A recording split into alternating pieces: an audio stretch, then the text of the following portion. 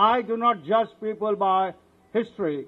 I judge people by their activities and their perspectives. When the bar connects a judge with the ground reality, it's a strong bridge.